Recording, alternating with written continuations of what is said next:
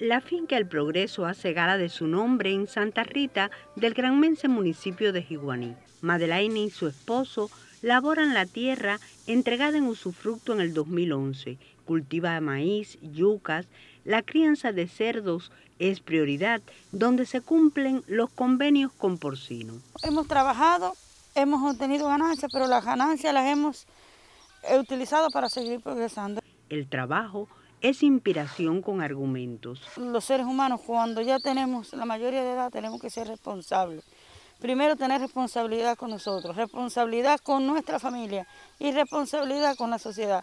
No podemos sentarnos a esperar que nos los traigan. Tenemos que ver cómo nosotros, qué hacemos para tener lo necesario y para ayudar a aportar, como decía ahorita, a la sociedad en tiempo de coronavirus prueban la eficacia del esfuerzo. Nosotros hemos seguido adelante, no nos hemos parado, hemos seguido adelante produciendo.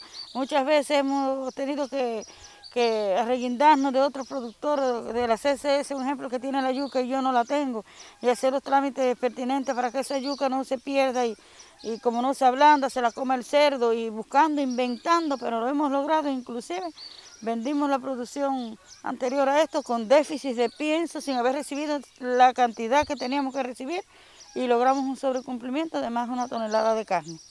Yo no he tenido que ir todavía a una cola, a mí no me ha hecho falta la grasa, a mí no me ha hecho falta la proteína, a mí no me ha hecho falta la vianda, no me han hecho falta los granos.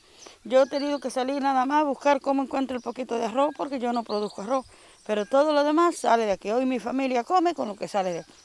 Madelaine tiene tiempo para las plantas ornamentales, también para el intercambio con las federadas. Ella es miembro del Comité Nacional de la organización. Es ejemplo por lo que su finca se le entregó la condición 60 aniversario de la FMC, haciendo revolución sobre la marcha. Teresa Armesto, Sistema Informativo de la Televisión Cubana.